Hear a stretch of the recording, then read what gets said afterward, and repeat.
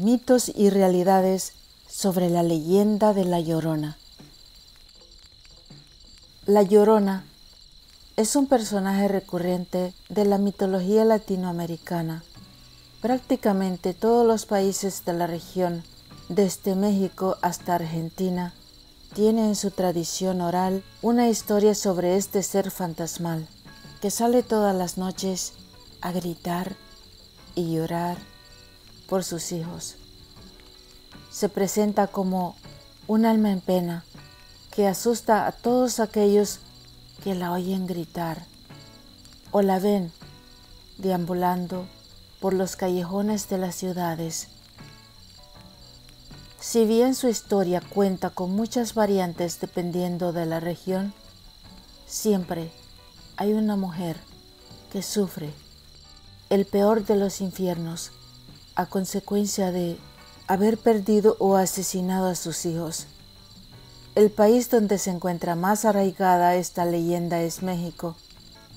En cada municipio del país hay un lugar donde esta misteriosa mujer se ha aparecido y la tradición oral se ha convertido en uno de los personajes más característicos de las historias de terror a nivel local.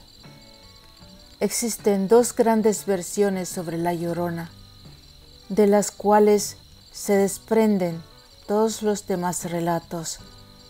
La primera, y más antigua de todas las leyendas, data de una época previa a la llegada de los españoles. Se trata de Chocasihuat, la primera de todas las madres que murió al dar a luz.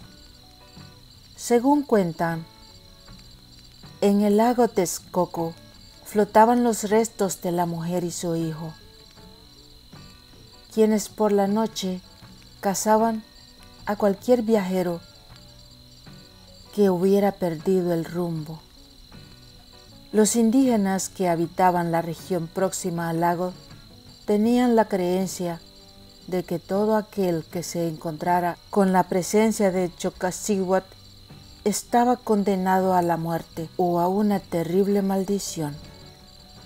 Al ser objeto de mal augurio, todos los pobladores le temían.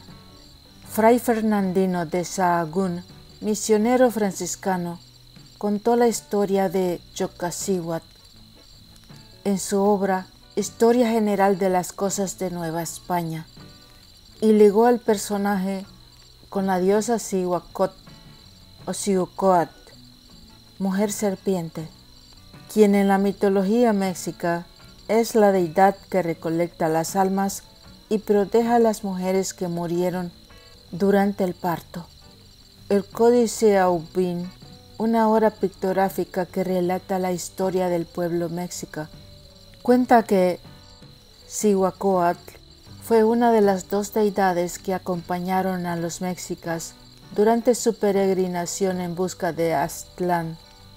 De acuerdo con la leyenda prehispánica, poco antes de la llegada de los españoles, Chocasíhuatl emergió del lago de Texcoco para alertar a su pueblo sobre la llegada de los españoles y la caída del imperio México Tenochtitlán. Los indígenas le aseguraron a Bernardino de Sahagún que por las noches esta mujer gritaba, Hijitos míos, pues ya tenemos que irnos lejos.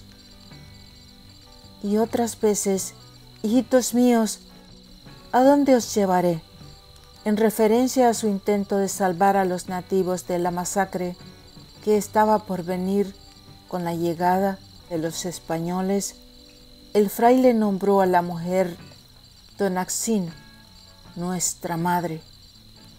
Fray Diego Durán, otro de los evangelizadores españoles, dio cuenta de sus escritos sobre los amargos momentos que pasó el emperador azteca Moctezuma II antes de la caída de su imperio. De acuerdo con su texto, Moctezuma tenía sueños que advertían el fin de su reinado. Durante la época colonial, los pobladores hablaban sobre la aparición de una mujer que vestida de blanco recorría las calles de la Ciudad de México, lamentando la muerte de sus hijos. Con gritos estremecedores, el espectro paseaba por el templo mayor, centro dedicado al dios Huitzilopochtli, y luego seguía su camino hasta el lago de Texcoco donde desaparecía.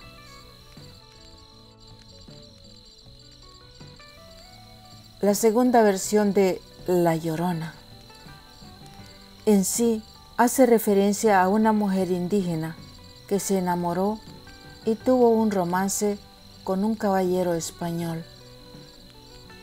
Como fruto de su relación, nacieron tres niños, a quienes la madre amaba y protegía.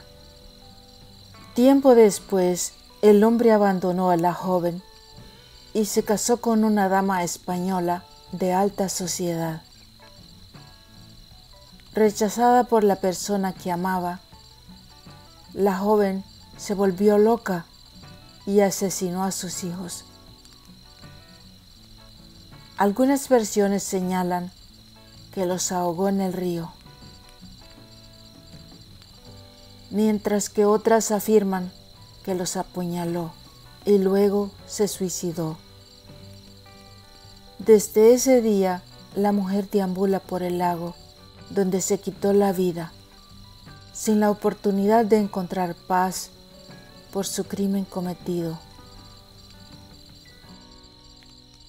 La Malinche tuvo un hijo con Hernán Cortés. Los historiadores han señalado que esta segunda versión de La Llorona está vinculada a la Malinche, quien fue amante de Hernán Cortés y dio a luz un niño mestizo. En esta versión adquiere una connotación negativa se vuelve un símbolo de ser mala madre.